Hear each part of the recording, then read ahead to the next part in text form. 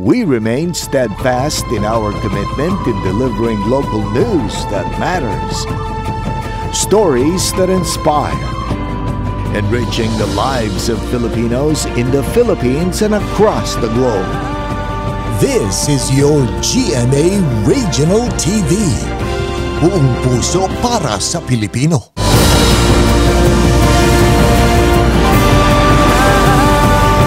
Kini ang GMA Regional TV Balitang Bisdak.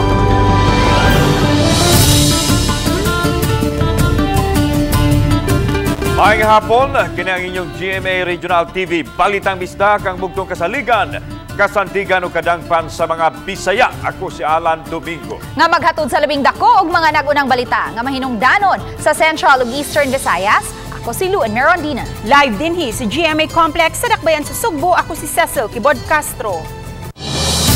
Parte sa kalsada paingon sa Sitio Cruzan, Bulacau ug Kandalawan, Dakbayan sa Talisay. Nahulpa gaganinang kadlawon. Moabot sa 8 metros ang yuta nga nahulpa, hinungdan nga ang nahisgutang mga dan, wa gipaagian. Wa hinuoy na angol sa maong hitabo. Ani ang report ni Femery Dumabo. Pasado las tres ganihang kadlaw na hulpa ang usa ka parte sa karsada sa maong dapit.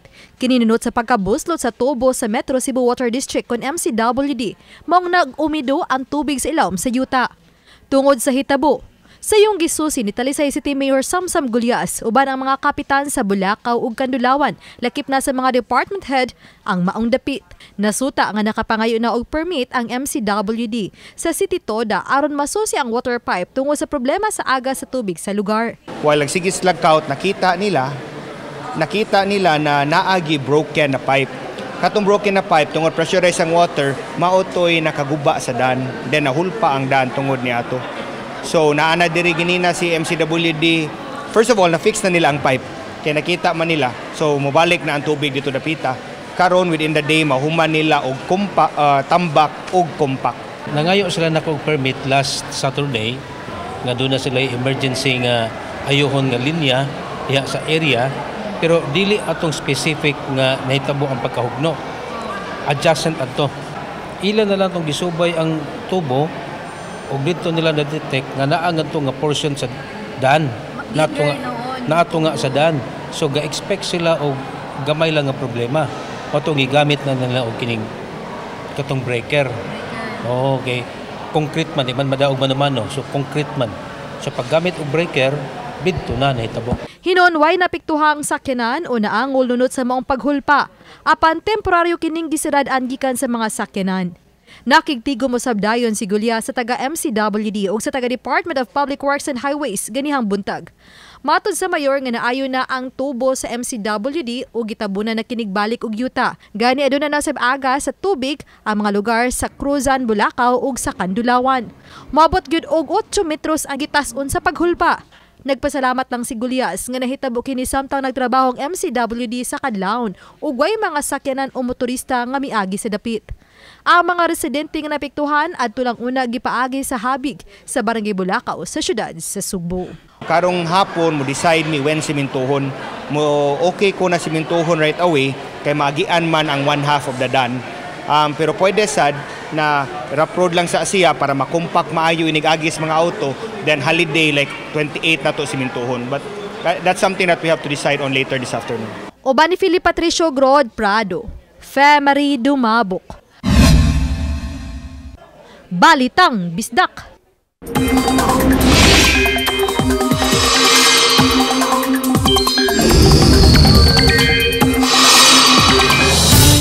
Bisan pa man sa may dagan sa panahon, masin nating thunderstorms magkadaghan. Karong panahon na kay padung na sa buwan sa Hulyo. Samtang usa ka talagsaong matang sa clouds o panganon ang Undalutos aspiratus. Nagkuhan hulagway habig sa Miglanilla kagahapon. Ano yung report? Daw Susama sa mga bawd ang mga panganod nga nakuhaan og hulagway ni Rendel Lapuri kagahapon sa hapon sa lungsod sa Minglanilla. Matod sa pag-asa, usa kini kamatang sa undulatus asperatus clouds nga mapurma kun adunay mga thunderstorms. Ang panag-abot sa init-init, bugnaw o guga nga hangin musangpot sa pagkapurma sa panganod nga daw mga bawd matod sa World Meteorological Organization. Uh, this type of cloud appear after following or following uh, turbulent cloud, which is cum- cumulonimbus clouds, and it is known to be kuan mga uh, dangerous for air, aircrafts. Ang mga ingon ni ining matang sa panganod, maporma sa buntag o baka sa udto, pipila ka oras human sa usa ka thunderstorm. Kay wala kini dalang uwan, mahilis ra usab kini ug iyaha. Sa mga thunderstorm advisory nga gipagawa sa Pag-asa Visayas kagahapon, labing daghan ang natala sa lalawigan sa Subo nga miabot sa 32 ka mga thunderstorms. Matod sa Pag-asa, bisan pa man sa maayong dagan sa panahon, apan matag karon og unya, may mga thunderstorms nga masinati kay nagkaduol na ang buwan sa Hulyo nga mo'y labing daghang uwan. favorable atong development ng mga thunderstorm. Kini atong bantayanon kining mga pag-develop ng mga pagpanugdugog kilat mostly sa hapon, gabi o diri sa early in the morning. Sa pagkakaroon, padayon usab nga nakaapekto sa Mindanao ang Intertropical Convergence Zone kun ITCZ. Kita nato until this Saturday natay nakita na possible formation ng mga cyclonic and so far uh, dili pa kini candidate as low pressure area or possibly part part lang kini sa intertropical convergence zone na mag-prevail sa atong nasod until this weekend. Uban ni Godfrey Lien, Luan Merondina, Oo. Balitang Misdak.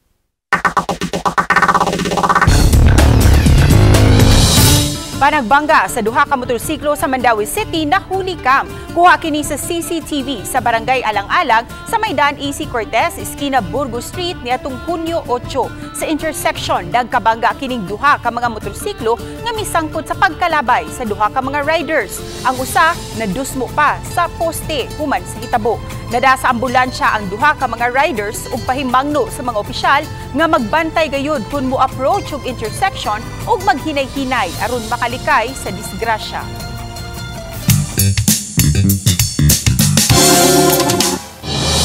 Sugbuan ng Paralympic athlete mo'y labing unang nakakatkat sa Mount Apo sa Davao del Sur nga mo'y labing taas nga bukid sa nasod. Ani ang report. Ang sugbuanong si Arnold Balais mo'y giila karon nga first amputee o labing unang Paralympic athlete nga nakakatkat sa labing taas nga bukid sa nasod ang Mount Apo. Mas nailhan si Arnold 49 anyos ug usa ka national Paralympic athlete ug nagtrabaho isip orthotic o prosthetic technician. Giila siya isip Captain A tungod kay nahimo man siyang team captain sa Philippine Accessible Disability Services o PADS Dragon Boat Team.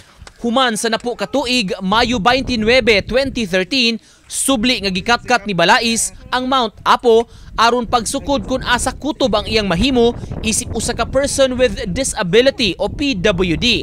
15 anyos pa si Arnold dihang giputol ang iyang tiil tungod sa infection sa napasagdan nga injury sa pagduwa niya og basketball. Sa ikaduhang higayon nga pagkatkat ni Arnold sa Mount Apo, uban kaniya ang tinguha ngang unsa may mahipos niyang kantidad tungod niini iyang gamiton sa mga batang nasakit og cancer sa dakbayan sa Sugbo. gawin nating mas meaningful. Kaya naghanap kami ng organization na pwedeng tulungan. Ayun nga, yung isang kasama ko sa na nag-organize nito. Kakilala niya yung sa Everlasting Hope Ministry. Ito yung ministry na nakikater sa mga children with cancer. Sa mga gustong mukatkat sa Mount Apo, kasamtangan una kining takupan sa lokal nga kagamhanan, sulod sa tulo ka buwan, sugod sa Setyembre, aron hatagan og higayon ang rehabilitasyon nga himuon sa labing habog nga bukid sa nasod. Uban ni Clans Gabutin, Nico Sereno, Balitang Bisdak.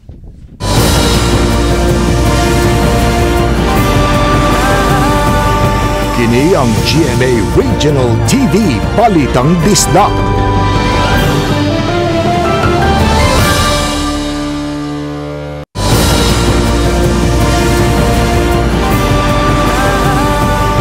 Kini ang GMA Regional TV Balitang Bisdak.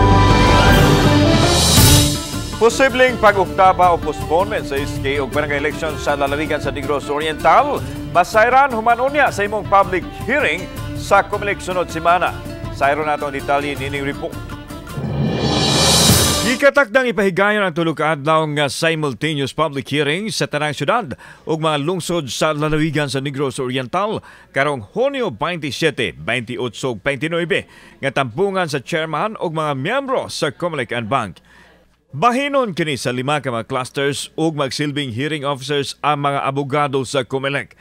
Giklaro ni Attorney Lionel Marco Castellano, ang Regional Director sa Comelec 7, nga dili kini plebisito. Tumong nini nga masayran ang sentimiento sa mga tao sa Negros Oriental kung angayan ba nga i-postpone ang piniliay sa barangay ug sa SK.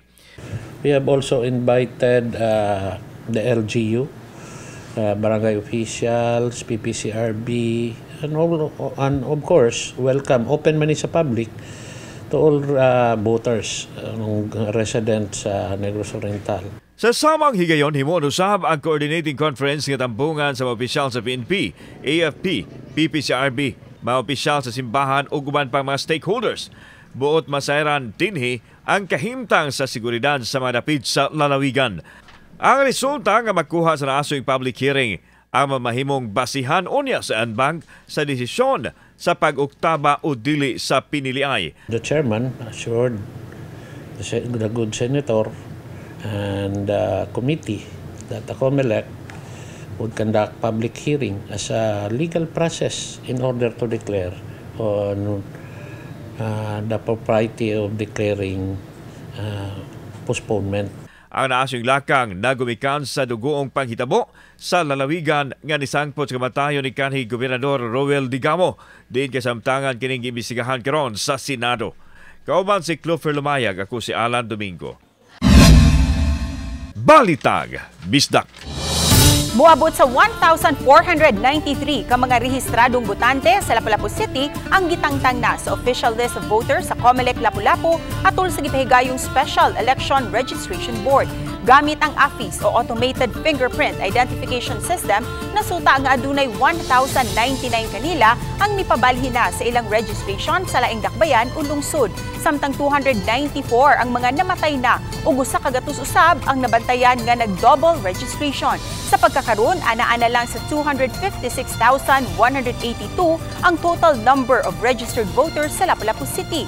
Gihimo ang Special Election Registration Board aron malimpyuhan ang listahan sa mga botante alang sa barangay ug SK elections karong October 30. So if you have a registration record in a certain area or place, then mo transfer ta, imo man ang katungod mo transfer ka, kay na napog ka didto, then better inform during your application. So it will not be it will not be anymore new, but application for transfer of registration.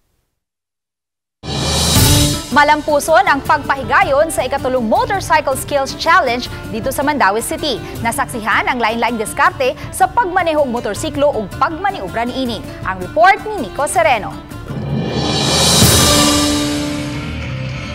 Sa hawanan sa Mantawi Drive sa Mandawi City, gihimo ang Motorcycle Skills Challenge. Nagpakitag labok ang mga motorcycle riders sa ilang pagsubay sa race course nga giandam alang kanila. Gisukod ang katakos ug kahaniti sa paglikay sa mga cones, pagmaniobra sa obstacle ug pagsukod sa ilang kapaspas nga makakumpleto niini. Adunay deduction o penalty sa score sa lain-laing kalapasan sama sa pag-igo o pagkatumba sa cone, pagtukod sa rider ug uban pa. Nagtigi ang lain-laing klase sa mga motorsiklo depende sa gidakon ang kalihukan gilusad sa Mandawi City Police Advisory Council sa tinguha nga ma-promote ang luwas nga pagmaneho sa kadalanan. I-promote lang pud nato ang road safety sa Mandawi. Tungod kay Mandawi sir usa ka develop kay nga lugar. Unya daghan putag mga motorista. Nya tungod niini ang kato mga mahilig magmotor ato po na silang gi-invite taliwa sa mga disgrasya nga nahitabo sa kadalanan nga naglambigit sa mga motorsiklo nang hinaot ang mga organizers nga nakakaton sa kalihukan ang mga tumatanaw. Labi na sa pagkuha og giya og tambag sa pagdala og pag-atiman sa mga motor alang sa luwas nga biyahe. Lakip sa misalmot ang pipila ka mga motorcycle enthusiasts gikan sa kauluhan. Sa umpisa po syempre mahirap eh. Wala naman pong madali. Pero kasi ah, matututunan nyo naman din siya pagtagal and maganda po siya sa mga kagaya na mahilig magmotor kasi magagamit nyo po siya sa ah, sa biyahe syempre lalo na yung mga ganyang mga parang liko-liko po halimbawa mga kurbada We remind the owners when they are riding, take care of the safety, also improve their riding skills. Apart from that, we have the Riding Academy. Uban ni Godfrey Relien, Nico Sereno, Balitang Bisdak.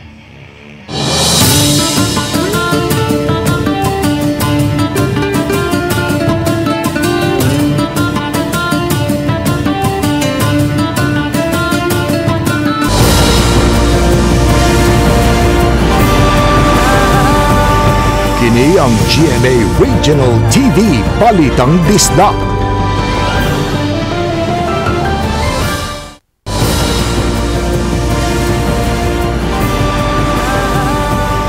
Kini ang GMA Regional TV Balitang Bisdak.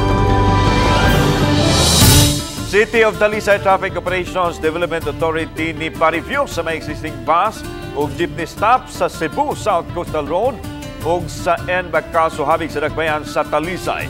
Ang detalye sa report ni Femari Domabok. Nabantayan sa Pangulo sa City Toda, Joy Tumulak, nga ang mga bus o jeepney stops maunahin ay hinungdan sa grabing pag-uot sa trapiko.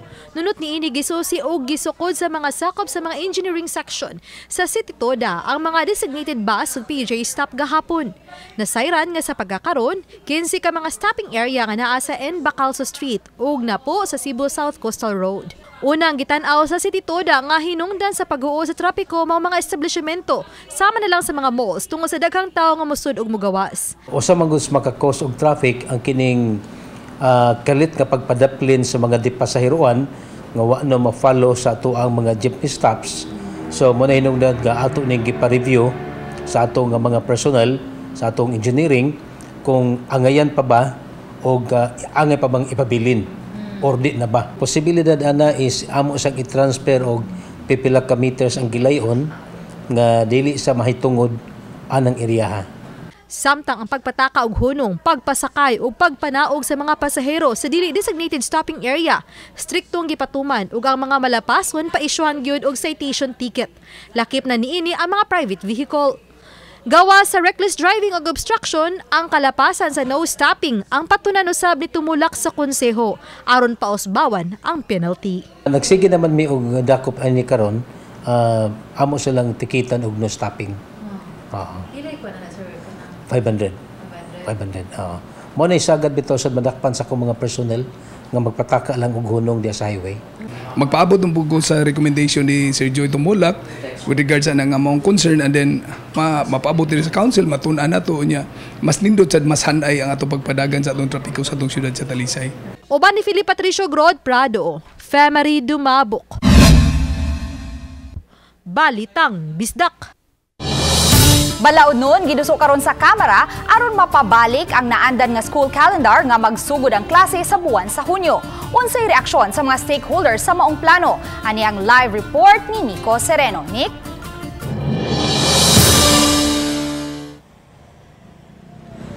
Yes, may managlahi ang nahimong reaksyon sa ato mga napangutana kabahin nining suhestyon og balaod nun nga giduso nga mobalik na sa June ang pagsugod sa school year paingon sa Marso inay sa naandan karon nga Agosto o Setyembre magsugod.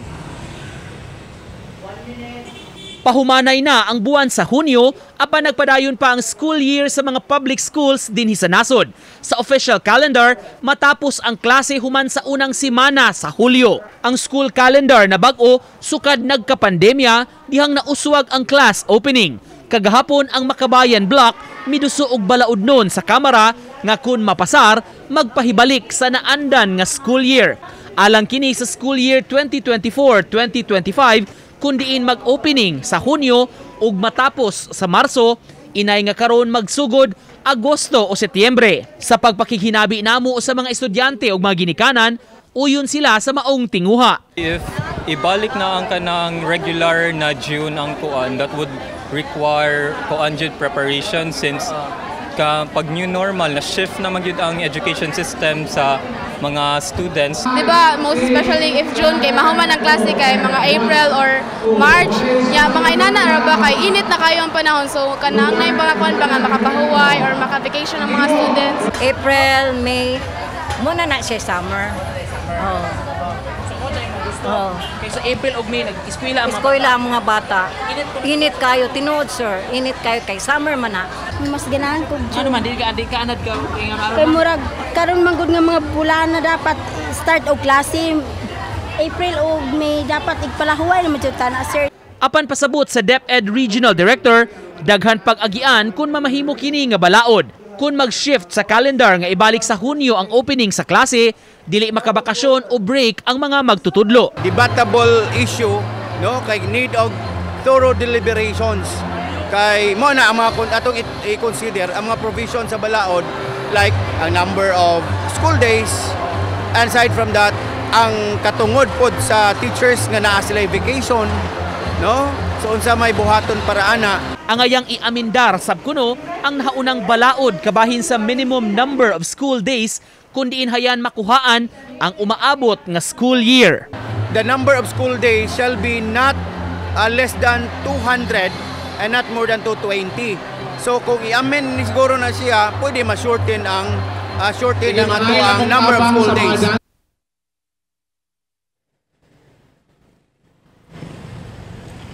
Gipasabot hino ni Director Jimenez may nga kung unsa may madesisyonan ug unsa may mapasar sa balaod nun tinguha nining pagpabag-o sa school year andam silang mo adjust ug mo implementar sab niini sa Department of Education. May Daghang salamat, Nico Sereno.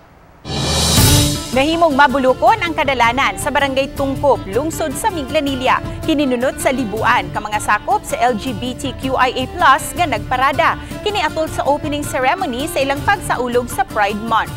Mabulukon ug gikugihan usab sa paghimo ang adorno sa ilang gisakyang nga mga float. Gawa sa pagpakita sa ilang creativity, gipakita usab sa mga sakop sa LGBTQIA+ sa lungsod ang nagkadaiyan nilang mga talento atol sa presentation of muses o sa sport event na volleyball. Ang kalihukan gisuportahan sa Minglanilla LGU isip pagila sa mga natampo, natabang o kabililhon sa mga sakop sa LGBTQIA+ community sa ilang dapit ug ang parehong pagtagad kanila sa katilingban. Bukabat sa 3,000 ka mga pari sa Libog Nason ang ginagdang tambong sa National Retreat for a Priest 2023. Ang akong panagtapok sa kaparian mahitabo unya sa Nobyembre 7 hangtod sa Pizza 9 nining tuiga sa International Eucharistic Congress kung IEC. Kini ang una nilang panagtapok kuman sa nasinating pandemya sa nakalabayng mga tuig. Nag uh, or magsintro ang isgutanan sa tema nga Priest na Call for Holiness.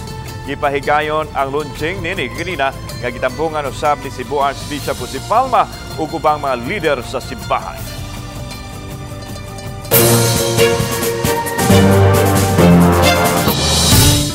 Kay usa sa sagad maigo sa Bagyo ang Eastern Samar kaniadto wa gayud mibukas sa ilang turismo sa local ug international tourists. Apan tungod sa nasinati nga pandemya, usa kadto sa nakapatukmod sa kagamhanan nga dakong tabang sa ilang lugar ug panginabuhian ang pagbukas sa ilang turismo. Sama na lang sa lungsod sa Sulat. Busa Sayran Takini sa report ni Temery Dumabo.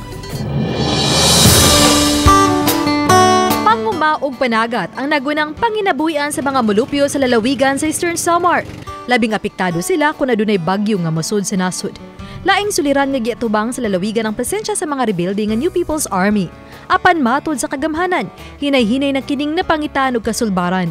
Gilagway nila ni Eastern Samar Governor Ben Ivardoni ug sulat Mayor Javier Zacati nga ang panagat ug pangumaman naguna nga panginabuhian pero mga isla sa lugar nga kaniadto di padugukunon ang karon naghatod na usab sa hinay-hinay nga paglambo sa turismo taliwa sa pandemya. Kini ang gimug-ata ni Eastern Samar Governor Ben Ivardoni og sulat Mayor Javier Zacati. Halos kalamihan ito puro private eh.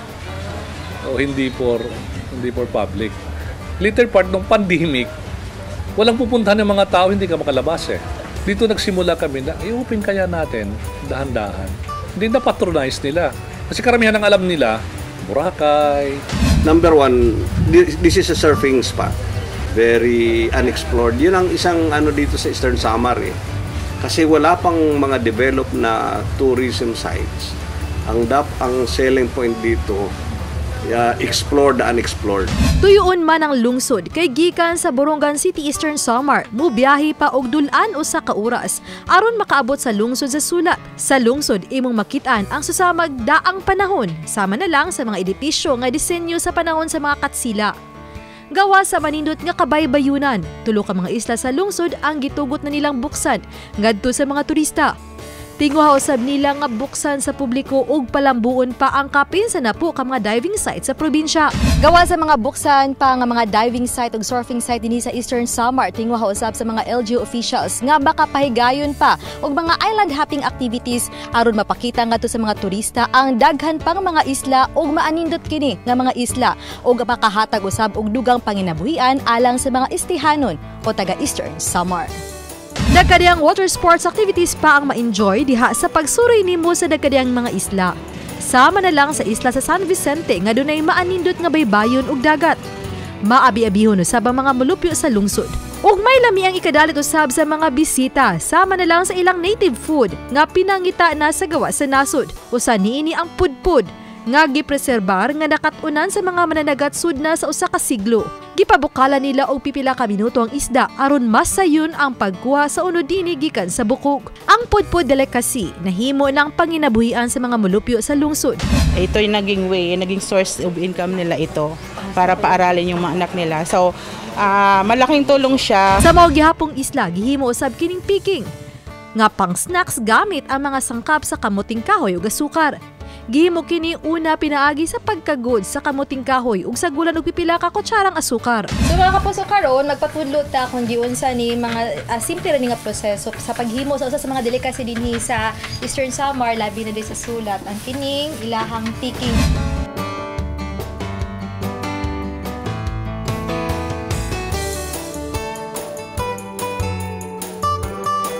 Tanggalin mo yung takip. Diri, Ah, hindi tanggalin mo lang yung takip. Okay, ya. Oh, yan na. Tapos, lagay ko na dito, ma'am. Doon, nandun na yung lagayan. Alog na yung lagayan. Oh, natanggal na yung pati yung laman. Natanggal yung laman. Ibuwad kini sud sa upat ka oras o kaha katunga sa adlaw ug mahimo na kining lutuon. Teng. Okay, pakurat na. And then, Mamaya pa, ah, mamaya pa. Okay. Pag, Maya, pag maya. ano na siya, Ah, okay parang, na yan. Okay na, sige, balik Ay, tayo na. pagka brown na siya. Oh, white ganyan lang siya. Madali lang siya. So, balik rin. Oh, Okay, ganyan na siya. yan. Pag Ito, crunchy na ito. Kay malamig-lamig na siya. Oh. May dalawa na tayong na sample. Sa pagsuroy nimo sa mga dapit sa lungsod sa Sulat Eastern Samar, gawas nga mabusog ang imong mata sa manindot nga mga talan-awon. Mabusog usab ang imong tiyan ug mabaw usab nimo ang maanindot nga kasinatian. Uban ni Marlon Malgazo ug Edward Tubilan, Femery Dumabok. Balitang Bisdak. Daghang salamat sa mga kapuso nato apil na nga na sa gawa sa nasod nga nakisayod sa mga dagko ug mga nagunang balita sa rehiyon. Ako si Luan Merondina. Ugikan dinhi sa Central ug Eastern Visayas, ako si Cecil Kibod Castro. Ang inyong balita, ang among balita kay matag lokal nga balita mahinungdanon kini ang inyong GMA Regional TV Balitang Bisdak. Buong puso para sa Pilipino. Ako si Alan Domingo. Mayong hapon, mga kapuso.